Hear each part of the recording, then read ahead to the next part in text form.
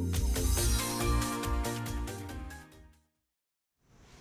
네, 경제판 돋보기 시간으로 이어가 보도록 하겠습니다. 간밤 증시는 일제히 1% 이상 하락하면서 거래를 마쳤습니다. 1월 CPI 지표가 전년 동월 대비해서 3.1% 이상 증가했는데 시장에서 예상했던 2%대보다 훨씬 더 높았습니다. 그렇기 때문에 시장은 밀린 건데요. 그럼에도 불구하고 사실상 AI 반도체 기업들은 전체 시장의 순위를 상회하는 실적을 내기도 했습니다. 계속해서 봐도 될지 오늘 함께 이야기 나눠보도록 하겠습니다. 하겠습니다. 오늘은 인사이트 K의 배종찬 소장 모셨습니다. 안녕하십니까? 안녕하십니까? 네, 소장님 최근에 엔비디아의 질주가 정말 무섭습니다. 어떻게 그렇죠. 보고 계신가요? 그러니까 실력과 또 영업까지 다 갖춘 강자다 이렇게 봐야 되겠죠. 그죠. 그러니까 말 그대로 뭐 우리가 얘기하는 사기캐 어, 저 정도까지나 음. 생각이 드는 거죠. 그렇지만 뭐 젠슨 항이라는 사람은 뭐 웃을 날밖에 없어 보이기도 하죠. 근데 뭐 앞으로는 모를 일이기도 합니다. 맞아요. 하지만 네. 지금은 또 AI 시대고 또 CPU가 아니라 GPU의 시대고 또 HBM의 시대고 그걸 쭉 하고 있는 것이 말 그대로 엔비디아죠. 음. 뭐 우리가 엔비디아 이름대로 엔비 부러워할 수밖에 없어요. 근데 그런 상황은 그만큼 지금 시대에 필요한 기술을 갖추고 있는 것이고 네. 그리고 그 시장이 계속 확대되고 있는 것이고 음. 인정할 수밖에 없는 거죠. 우리가 어, 인정할 수밖에 없는 것도 뭐 인정 안 하면 어떡하겠어요. 그러니까 맞아요. 최근에 아마존보다도 오히려 시총을 추월할 정도로 말 그대로 잘 나가는 것이 음. AI 시대의 엔비디아 음. 또 젠슨항이고 네. 그러니까 젠슨항이 부러울 수밖에 없어요. 일론 일론 머스크 부럽지 않아. 어, 그러니까 그렇죠. 지금으로서. 그럼요. 그러니까 실속이 있는 게 제일 중요합니다. 여러분들 절대 투자자들이 잊지 말아야 될 게 실속이에요. 음. 그러니까 우리가 아무리 투자를 뭐 하고 뭐가 어떻고 친구들한테 내가 뭘 했어라고 동료에게 이야기를 하고 해봐야 제일 중요한 건 내가 거둔 수익률이에요. 음. 그것보다 중요한 건 없습니다. 어, 정작 수익을 많이 올린 사람은 입 닫고 아무 말도 안 해요. 음. 그런 부분들을 여러분들이 눈여겨보실 필요가 있는데 그래서 그래 엔비디아에 주목하는 이유는 지금 22년 만에 아마존을 추월했다. 맞습니다. 그러니까 전통적으로 IT 기술주의 강자라 그러면 우리가 아마존이었어요. 어, 제프 베이조스는 뭐 정말 시대적인 인물이잖아요. 근데 이 사람을 조용한 젠슨왕이 앞섰다. 이것만으로도 엔비디아의 가치가 얼마나 되는가. 시장 가치가 2,420조 원이에요. 25조 원이에요. 음. 그러니까 우리 지금 1년 예산이 어 670조 정도 되는데 그러니까 벌써 뭐 이게 뭐 3배 뭐 4배 정도 가까이 되는 그러네요. 거잖아요. 그러니까 네. 엄청난 겁니다. 엔비디아 주가가 지난 12개월 동안 약 한 250%가 상승을 했고 음. 말 그대로 우리가 AI 반도체, AI 이야기를 끊임없이 할 수밖에 없잖아요. 1월에 있었던 미국 라스베이거스의 CES 전자 이 소비자 전자쇼에서도 단연 화두는 AI예요. 음. 다른 거 없어요. 뭐 모빌리티 어쩌고 저쩌고 그럼 모빌리티는 AI 아니에요. 자율주행은 AI 아닌가? 그러니까 말 그대로 이제는 AI라는 용어를 특별히 쓸 필요가 없을 정도로 일상화가 돼버린 AI 시대. 최근에 음. 출시된 갤럭시 24에도 24에도 이 AI가 on-device로 장착이 됐잖아요. 그쵸. 그러니까 이제는 AI가 그냥 특별한 것이 아니라 음. 일반적인 이름이 돼버렸다. 그 속에서 어, AI 하드웨어 시장에서 가장 지배적인 반도체 강자로 군림하고 있는 것이 엔비디아이기 때문에 이 여세는 당분간 계속 지속된다고 봐야 되겠죠. 음. 그런 만큼 앞으로 투자자 입장에서는 이런 걸 볼 때 아, 엔비디아가 대단해 부러워야 할 것이 아니라 그러면 이 엔비디아와 관련이 있는 협력 업체가 어딘가 음. 이 업체가 앞으로 그러면서 계속 수익을 올릴 수 있을 텐데 라는 관점에서 보고 거기에 선제적으로 투자를 해요. 그러니까 머리가 여러분들이 팍팍 그렇게 돌아가야 됩니다. 엔비디아 한국의 협력업체는 어디야? 그럼 엔비디아의 다음 투자 어, 분야는 어디야?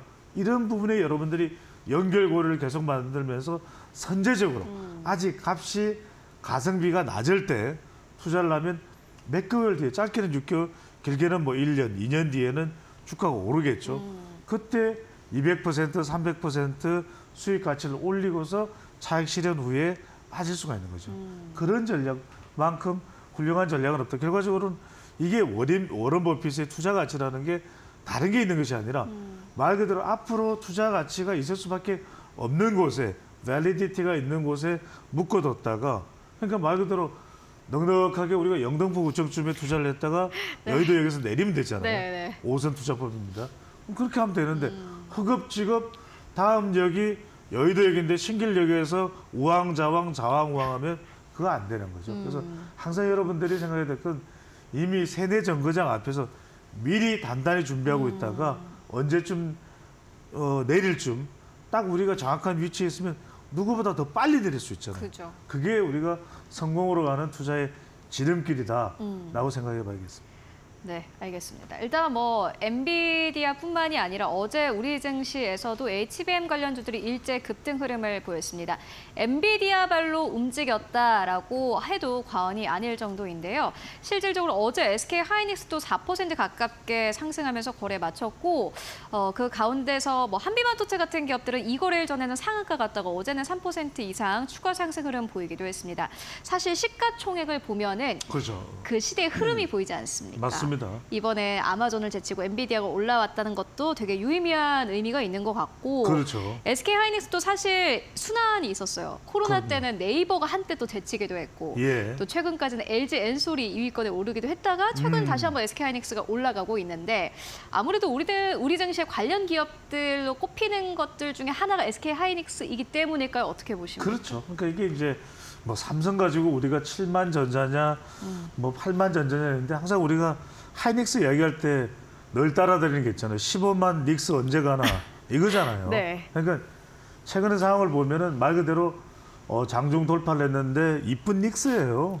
이쁜 닉스인데 이쁜 닉스가 어떻게 바뀌었어요? 고마운 니- 고마운 엔비디아죠. 음. 고마운 엔비디아 덕분에 이쁜 닉스가 가능했다. 그 이야기는 엔비디아가 잘 나가니까 아니 무슨 관련성이 있길래 지금 HBM의 최대 강자가 SK 하이닉스죠. 두 번째 강자가 어디예요? 삼성이죠. 그러면 SK 하이닉스 입장에서는 지금 HBM을 대규모로 대량 공급하는 데가 어디예요? 엔비디아죠. 그러니까 엔비디아가 잘 나가니까 닉스도 이쁜 닉스가 될 수밖에 그죠. 없는 겁니다. 그러니까 그렇게 에, 기대해 왔던 고대해 왔던 15만 닉스를 달성을 한 거죠. 그러니까 이런 걸 여러분들이 잘 보셔야 돼요. 자, 엔비디아가 잘 나간다? 그럼 닉스가 잘 나가네? 또 다른 게 뭘까? 이걸 생각해 보시면 여러분들이 우리 시간에 검색어를 해서 배종찬 소장이 알려줬던 그 자료 여러분들 긁어서 그냥 어? 아래 한글에 올려놓던가 어, 워드에 올려놓고 검색해서 엔비디아 검색해보면 짝짝 어떤 종목이었든지 나오잖아요. 그러니까 그런 부분들이 여러분들이 투자로 가는 지름길이에요. 그걸 나의 투자 방법으로 어, 안착시켰을 때 그게 내 것이 되는 것이거든요. 남들 막 쫓아가 봐야 뭐 나도 모르는 종목들 쫓아 소개를 해주는데 저 역시 왜 안 그랬겠어요? 지난 30년 동안 뭐 수백 회의 강연회에 저도 갔었어요. 근데 그게 다 맞느냐? 안 맞는다. 그럼 뭐냐? 내 것을 만들어야 돼요. 여러분들만의 어떤 연결고리를 만드느냐. 그게 중요하다는 거예요. 그걸 여러분들 박사고 석사고 학사고 중요한 것이 아니라 내가 어떻게 그것을 내 것으로 제대로 정립시켰는가 그게 중요한데 그러니까 SK 하이닉스가 올라가는 이유가 있는 거죠. 엔비디아의 고대여포 메모리 HBM을 대규모로 공급한다. 그 외에 또 우리가 또 하나 주목해야 될 것은 제가 그 이야기 드렸어요, 안 드렸어요? 지난해에 반도체는 찍고 올라갈 거다. 근데 두 가지다. 생성형, 챗GPT, 그리고 AI다. 말씀드렸잖아요. 그러면 선제적으로 이미 작년, 지난해 연말에 들어갔다면 올해 이렇게 상황 보면서 5월 달에 이제 금리도 좀 내려갈 수도 있고 지금 미국 연준도 금리 인하하는 거 서두르지 않아요. 왜? 미국 상황이 나쁘지가 않아. 그러니까 이것도 금리 인하하는 것도 속도 조절을 할 수도 있다는 이야기입니다. 이런 상황들을 보면서 나한테 유리한 환경을 더 많이 만들어가는 게 중요한데 반도체 상황이 또 왜 좋으냐면 지금 TSMC가 연일 고가 행진이에요. 자, 이거 여러분들 제가 뭐 말씀드렸습니까? 이 미- 이 대만 총통 선거에서 이 민진당이 다시 정권을 재창출하면은 미국에 어, 가깝고 그 다음에 중국에 대해서는 독립 성향이 강한 민진당이 이 다시 이제 재집권을 하게 되면은 TSMC는 날개를 단다고 말씀을 드렸잖아요. 왜냐하면 대만은 지금 대규모 투자법이 있거든. 그러면은 TSMC는 잘 나갈 수밖에 없고 지금 우리가 EPS 기준으로 해서 어, 12개월 TSMC EPS가 반등한다. 그러면 반도체 협회는 메모리든 비메모리든 가릴 필요가 없어요. 여러분들 좋을 수밖에 없어요. 그러니까 이제 사람들이 조금씩 조금씩 이른바 욜로 현상이 PC 구매에서도 드러나는 게 나 조금 더 조금 더 좋은 거 살래. 조금 더 큰 모니터 사서 어, 노안인데도 잘 보이게 할래. 그런 마음이 있단 말이에요. 음. 그런 투자 욕구, 소비 욕구가 있다는 걸 여러분들이 사전에 철저하게 간파를 할 필요가 있는 거죠. 어, 사실 이제 이렇게 반도체 기업들이 잘 올라갈 수 있는 것은 그만큼 판매가 잘 되고 있기 그렇죠. 때문인 것 같은데 예. 보니까 쇼핑 사이트에서 검색을 해봐도 SK 하이닉스의 그 메모리 가격이 훨씬 더 비싸더라고요. 맞습니다. 그러니까 고대역풍 메모리라는 게 뭐냐면 기존의 메모리가 한 층이었다면 여러 층이 이제 겹쳐져서 어, 이 기능을 수행하는 것이거든요. 좋을 수밖에 없는 것이고 결국 지금 AI 반도체가 지속적으로 상승세를 타고 있는 이유를 보면은 미국 시장이 좋아. 그렇잖아요. 물론 미국도 지금 등락이 있습니다. 그런데 어, AI 기업의 주가가 상승하면서 전체 지수를 견인하고 있는 것도 그죠. 미국은 AI예요. 음. 지난해 우리가 뭐 반도체 가지고 아 저기 배터리 가지고 난리였잖아요. 에코 뭐 아니면 프로 프로 아니면 에코 뭐 저저저고 그랬었는데 네. 올해는 안 그렇단 말이에요. 왜냐하면 이게 결과적으로 전기차가 주춤하니까 결국 지금 후방에서 공급을 해주는 이 배터리 쪽도 영향을 받을 수밖에 없는 겁니다. 그렇다면 지금 S&P 500 지수도 어, 사상 최고가인 5,000p 올라갔다 좀 내려왔나요 다시? 그런 상황이 오르락 내리락 하지만 그래도 지금 미국 시장은 AI로 반도체로 상당히 탄력받고 있다. 맞습니다. 근데 이제 일단 아까도 이야기했지만 소비자 물가 지수는 좀 기대보다는 올라갔죠. 정정을 드립니다. 이게 이제 예상 전망만 보고서 제가 이야기를 했는데 기대감이 조금 불안해지긴 했어요. 네. 그래도 나쁘지가 않아요. 지금 미국 CPI 소비자 물가 지수가 그렇다고 해서 지난해 어, 4분기에 미국 GDP를 보면 성적도 양호해요. 미국은 좋아. 지금 또 어, 선거도 그렇고 기업도 그렇고 경쟁이 붙으면 좋은 겁니다. 미국 대선도 좀 싱거울 뻔했는데 바이든의 트럼프, 트럼프의 바이든 세계 대결이야. 그러니까 경제 쪽도 벌써부터 어, 나토에도 돈 더 내라. 안 그러면 미국이 보호 안 해준다. 한국과 일본에도 만약 트럼프 전 대통령이 다시 이제 어, 대권에 오르면은 우리한테도 지금 어, 주한 미군 주둔 비 용 더 내라 이 이야기예요. 일본도 주일 미군 주둔비 더 내라. 그러니까 온갖 지금 우리 주변에 어, 돌발 변수들이 있긴 합니다만 여하튼 미국은 지금 잘 나가고 있어요. 그런 상황들만 보더라도 AI가 계속 견인됩니다. 자, 미국 정시가 좋으면 결과적으로는 우리 정시도 좋게 될 수밖에 없다. 그죠. 영향을 받아. 왜냐하면 이게 약간 낙수 효과가 없다고 할 수는 없어요. 물론 예전처럼 미국이 기침하면 우리가 감기 걸리고 이런 건 아니지만 우리 정시도 시장도 상당히 독립적으로 됐고 시장도 커지긴 했지만 그죠. 여전히 미국 정시의 영향을 우리가 받는다라고 음. 봐야 될 것으로 보입니다. 맞습니다. 특히나 뭐 미국에서 잘 나가고 있는 AI 반도체 경우에는 그 밑에 단에 있는 기업들이 우리 한국 기업들이 많지 않습니까? 그렇습니다. 그렇기 때문에 그 기대감은 더 커지고 있는데 어떠한 좀 기업들 보면 되겠습니까? 그렇죠. 엔비디아 주가가 이제 급상승하고 있기 때문에 이래저래 엔비디아와 연관되는 그렇다면 또 엔비디아와 연관된 SK 하이닉스와 관련돼 있는 AI 기업들은 언제 이것도 여러분들 유심히 보시게 되면 우리 시간에도 소개를 해드렸지만 HPSP 또 퀄리타스 반도체 오픈엣지 테크놀 계속 오르락 내리락 해요. 조금 이따 이제 옥석 가리는 부분은 제가 설명을 드릴 겁니다. 그 외에 가온 칩스, 아까 또 채원 앵커가 이야기를 했던 한미 반도체, 루닛, 루닛은 또 이 의료하고도 관련이 돼 있죠. 그 다음에 MDS 테크 이렇게 좀 주목받는 그런 기업들에 일단 시선을 두세요. 조금 있다가 옥석 가리는 거 우리 시간 끝나기 전에 말씀드립니다. 네. 알겠습니다. 그렇다면은 저 여의도역에 내리려면은 아무래도 뭐 함부로 투자하면 안 되지 그렇죠. 않습니까? 예. 어떻게 좀 경계를 해보자면 어떤 부분들을 조금 리스크로 삼으면 되겠습니까? 지금 이게 월가에서도 나오는 이야기죠. 지난해 배터리가 좋아? 배터리에 다 투자했어요. 그런 사람 지금 어떻게 됐어요? 지금 사람 뭡니까? 투자의 눈물을 흘리네? 어? 네. 마리아의 눈물이 아니라 투자의 눈물을 흘려요. 그러니까 여러분들 몰빵이라는 건 없습니다. 이게 뭐 정확한 주식 용어는 아닙니다만 주가가 단기간에 너무 올랐기 때문에 valuation이 과도하게 평가됐다는 이야기 나옵니다. 그러니까 이유 없는 결과는 없는 거예요. 여러분들 항상 그 부분을 주의해서 신중하게 볼 필요가 있습니다. 그렇다고 해서 과도하게 신중할 필요는 없습니다. 왜? 어차피 주식 시장은 위험 시장이기 때문에 우리가 채권이나 또 금에 투자하는 게 아니기 때문에 그만큼 어, 모험은 필요합니다. 하지만 그게 근거 있고 좀 설득력이 있는 거라야 되지 무모하게 그냥 절벽이네 낭떠러지네 뛰자 이렇게 돼서는 곤란한 거죠. 그죠. 어떻게 되겠지가 아니라 어떤 상황이 연출될 수 있을지 부분을 여러 가지 다각도로 내가 펼쳐놓고 그 부분에서 내가 얻어낼 수 있는 최대한을 얻어내는 것이 묘수가 될 수 있는 것인데 지금 작은 악재도 반응이 민감하기 때문에 하락 리스크에도 이 AI도 취약할 수밖에 없어요. 배터리 얼마나 취약해서 일단 전기차가 안 팔리니까 바로 여파가 미쳐버리잖아요.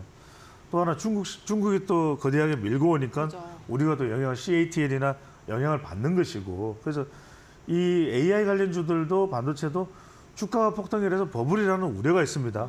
이 부분은 여러분들이 일단 유념해 두시되 자 지금부터 중요합니다. 주의를 기울일 부분은 주가 변동성이 크다라는 이 부분 여러분들 절대적으로 인식을 하셔야 돼요. 왜냐하면 어떤 사람들은 좋은 것만 자꾸 생각해. 딴 건 이야기를 들으려고 하지 않아요. 그러니까 심지어는 우리 이데일리 TV 보시면은 아 이런 점도 있겠구나. 냉정해야 됩니다. 승부사는 지극히 냉정해야 되는데 승부사가 어떤 팔랑팔랑 팔랑기가 돼서는 안 됩니다. 냉정하게 여러분들이 어떤 종목들이 있다. 여러분들 엑셀 그 정리를 딱 해놓으세요. 그 다음에 자 호재가 소멸한 데다 주가 급등에 따른 조절은 필요하겠죠. 이것까지도 여러분들 판단하셔야 돼요. 6개월에 일단 여러분들 이 시점을 먼저 여러분들이 어, 판단하셔야 돼요. 이건 6개월 내가 가지고 있을 것. 1년, 적어도 2년, 5년, 10년 일단 표시를 해두세요. 엑셀 비고란에 그 다음에 6개월이면은 뭐 0.5, 그 다음에 1년이면 1, 2년이면 2 표시를 해두세요. 표시를 해서 여러분들이 판단할 때 아, 얼마나 빨리 이걸 좀 판단해야 될지라는 부분들을 일목요연하게 볼 수 있도록.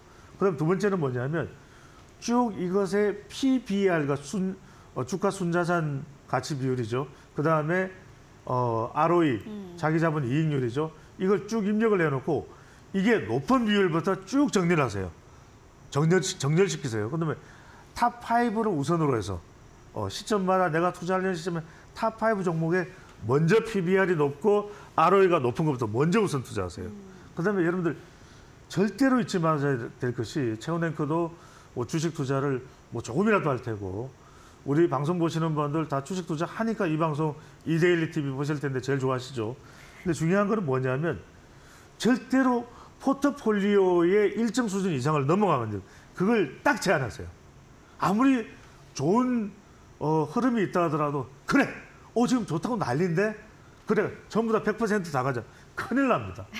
자, 적어도 어, 지금 AI 반도체, AI 관련해서는 딱 40%만 나갈 거야. 내 마음속에 목표를 정해놔야 돼요. 그 다음에 제약 바이오 얼마, 그 다음에 유통 얼마, 그 다음에 금융 얼마 이렇게 내 마음속의 포트폴리오가 견고해야 됩니다. 이게 팔랑팔랑거리면 안 돼요. 그렇다면 아무리 잘 나가는 종목과 섹터라도 절대 30에서 40%를 넘어가면 안 된다. 이거 여러분들 절대 기억하셔야 돼요. 그만큼 포트폴리오는 다섯 개 섹터든 여섯 개 섹터든 나눠져야 돼 있어야 돼- 있어야 되지 일방적으로 어느 한쪽에만 매몰되는 투자를 절대로 하셔서는 안 될 걸로 봅니다. 확증 편향을 좀 피하고 예. 그리고 분산 투자를 하자라는 맞습니다. 의견으로 정리해 보고 가도록 하겠습니다. 지금까지 인사이트 K의 배종찬 소장과 함께했습니다. 고맙습니다. 감사합니다.